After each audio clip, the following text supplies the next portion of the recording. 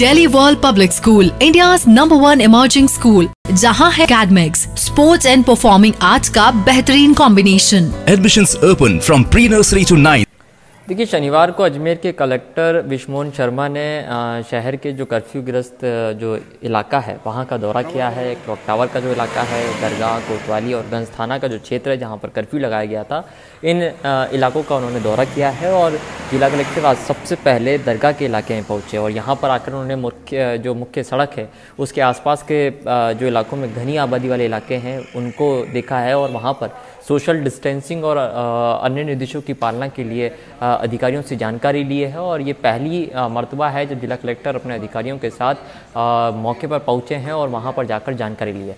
इसके बाद में जिला कलेक्टर जो जिला कलेक्टर नला बाज़ार और मदार गेट के इलाकों का उन्होंने दौरा किया है और उन्होंने अधिकारियों को आवश्यक निर्देश दिए हैं कि लॉकडाउन की जो पालना है, वो इन इलाकों के अंदर सख्ती से करवाई जाए। इसके बाद में जिला collector कमंडनसपुरा, Padav, plaza talkies, Kharikui, Thatera Chowk, Usri gate, Kesarganj और स्टेशन रोड के जो आसपास के जो इलाके हैं, उन तमाम इलाकों का उन्होंने दौरा किया है और यहाँ पर जो व्यवस्था इस वक्त चल रही है, उसको उन्होंने वहाँ पर जाकर जांचा भी है।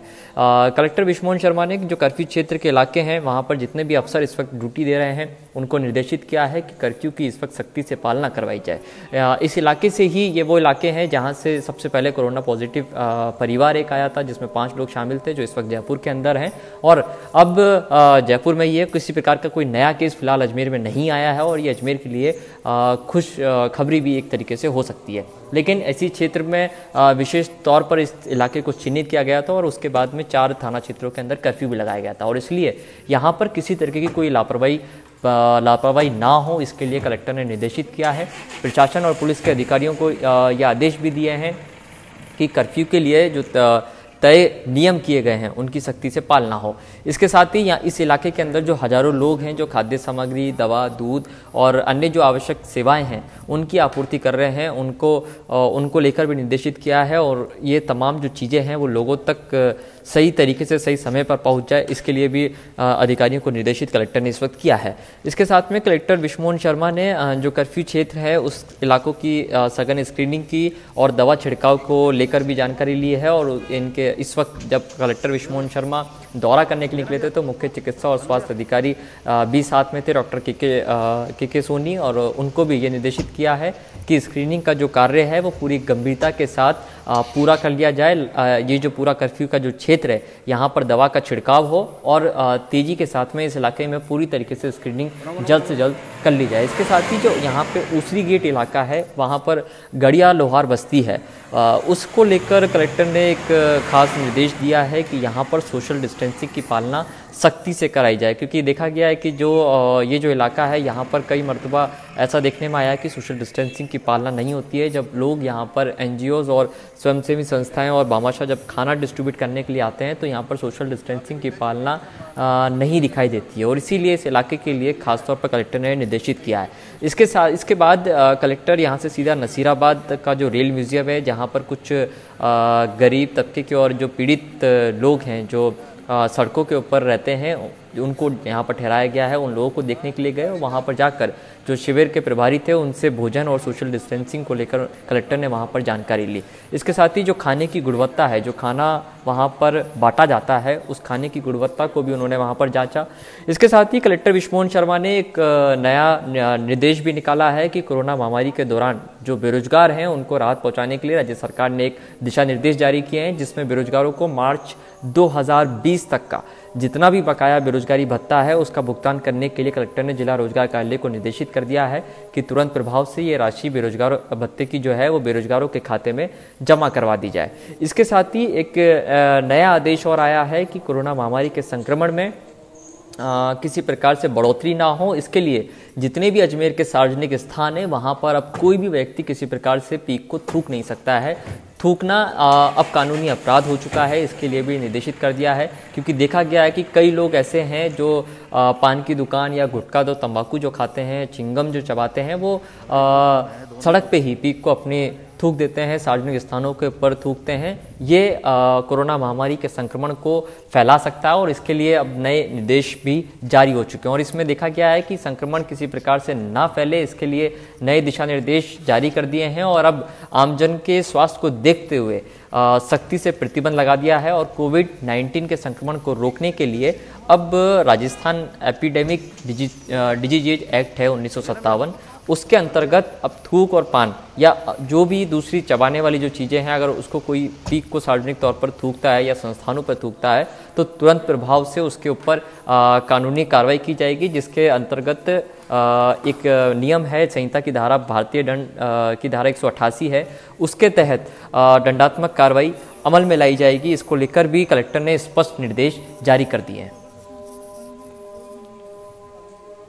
में सत्ताईस मार्च को पहला पॉजिटिव केस आया था। मोहम्मद फैज़ल नाम का एक व्यक्ति था, जो पंजाब और हरियाणा से ट्रैवल करके अजमेर में आया। 26 तारीख को भी वो एडमिट हुआ और 27 तारीख को वो पॉजिटिव हो गया था। इसी खारी कुई का एरिया डिग्गी बाज़ार, जहाँ पे हम सभी लोग खड़े हैं। और आज मैंने दरगाह क्षेत्र के निज़ाम गेट से लेते हुए बंदार गेट और ये डिग्गी बाज़ार का एरिया, जहाँ हम खड़े हैं, यहाँ पे सर्वे किया है। लॉकडाउन की पूरी पालना है कर्फ्यू की पूरी पालना की जा रही है। लोगों ने समझ लिया है कि इस रोग को अगर हराना है तो सोशल आइसोलेशन से ही और घर में stay home and stay safe वाला जो फंडा है, जो मंत्र है, उसको अडॉप्ट कर रहे हैं। और इसके साथ साथ हम लोगों ने इस पूरी एरिया में एक किलोमीटर का जो रेडियस है, उसको पूरी तरह से सील किया हुआ है। कर्फ्यू का क्षेत्र जो है, इसमें जो मेडिकल डिपार्टमेंट के साथ जो काम की गई है, तीन बार एक एक घर का सर्वे किया गया ताकि कोई भी व्यक्ति नहीं छूटे, जिसमें थोड़ी सी भी अगर कोई ऐसा सिम्टम्स आ रहा है या कोई बाहर से ट्रैवल करके हिस्ट्री है तो ऐसे लोगों को हमने उनकी स्क्रीनिंग करके और कहीं पे भी उनमें कोई ऐसे सिम्टम्स आए तो तुरंत उनका सैंपल कराया है। और अभी तक अभी अजमेर ज़िले में पाँच जो पॉजिटिव आए थे, उसके बाद से कोई भी पॉजिटिव नहीं आया है। और इसमें सबसे ज़्यादा योगदान जो रहा है पुलिस, प्रशासन और मेडिकल डिपार्टमेंट इनफैक्ट सभी डिपार्टमेंट्स का बहुत अच्छा इसमें योगदान रहा है। हम लोगों ने फ्लाइंग स्क्वाड्स भी बनाए हैं और अलग अलग एरियाज़ के लिए मजिस्ट्रेट्स बनाए हुए हैं। साढ़े चार सौ से ज़्यादा जो है मेडिकल की टीम्स जो है पूरे डिस्ट्रिक्ट में घूम रही है। एक एक घर को सर्वे किया जा रहा है। लॉकडाउन की पालना पूरी तरह से कराने के लिए हम लोगों ने सभी को पाबंद किया हुआ है कि कहीं से भी अगर कोई इस तरह की सोशल डिस्टेंसिंग या इस तरह की कोई भी अगर शिकायत आती है तो वहाँ पर तुरंत जो है प्रॉम्प्ट एक्शन लिया जाए। और जैसे ही लॉकडाउन हुआ था, हमने सीमाओं को सील कर दिया था, लोगों को अंदर आने नहीं दिया। इसी का मुझे लगता है कि रिज़ल्ट है कि अभी अपने डिस्ट्रिक्ट में कोई केस नहीं आया और मुझे लगता है कि ये लॉकडाउन के अंत तक हम इसमें खुशी खुशी अच्छे से, से पूरा करेंगे। खाने की समस्याएँ जो हैं वो दिख रही है। पार्षदों ने भी हंगामा किया था। क्या लग रहा है खाने की समस्याएँ प्रॉब्लम दूर नहीं हो रही? नहीं, ऐसी कोई समस्या नहीं है। इनफैक्ट मेरे पास तो ऐसी रिपोर्ट्स हैं कि एक व्यक्ति जो है अभी कल ही उसने रिपोर्ट कंट्रोल रूम में कहा कि उसके घर में खाना नहीं है, भूख से मर रहा है। और जब हमारी फ्लाइंग स्क्वाड गई तो उसके घर में काफ़ी क्वांटिटी में मतलब आटा, दाल, चावल, सभी राशन और घर के फ्रिज के अंदर में वो जो है चिकन वगैरह भी काफ़ी रखा हुआ था। तो ऐसी कोई समस्या नहीं है। हम लोगों ने हेल्पलाइन बनाए हुए हैं कंट्रोल रूम्स बनाए हुए हैं फ्लाइंग स्क्वाड्स को हर फ्लाइंग स्क्वाड को हमने राशन की सामग्री उनकी गाड़ी में रखा हुआ है। कहीं से भी कोई कंट्रोल आती है तो फ्लाइंग स्क्वाड उनके घर पे पहुँच के जाके होम डिलीवर राशन का करेगा। तो एक अगर शिकायत आई है तो वैसा ही सब जगह होगा ऐसा लग रहा है नहीं नहीं इसलिए तो मैंने कहा कि हमने फ्लाइंग स्क्वाड बना के रखा हुआ है। कहीं पर भी अगर इस तरह की कोई भी शिकायत कोई भी प्रॉब्लम आता है तो हम घर में जाके उनको राशन डिलीवर करेंगे। बाकी हमने ऐसी हमारे पास एन जी भामा शाह का बहुत अच्छा सहयोग मिल रहा है और अच्छे पात्र भी चालू हो चुका है तो इस तरह की कोई समस्या कहीं नहीं है। बीएलओ से हमने जो सर्वे कराया है वो काफ़ी अच्छा रहा है और जो नीडी व्यक्ति है जैसा कि मुख्यमंत्री महोदय का ये डायरेक्शन है कि जो नीडीएस्ट ऑफ़ द नीडी है उसको पहले देना है तो वो हम उसकी कंप्लाइंस करेंगे अधिकारी आप रेगुलर दौरा करेंगे? बिल्कुल दौरा करेंगे। पहले भी कर रहे थे पर आज हमने जो है इसे काफ़ी इसे विस्तृत रूप से किया है ताकि ये सभी जो है क्षेत्र हम देख सकें।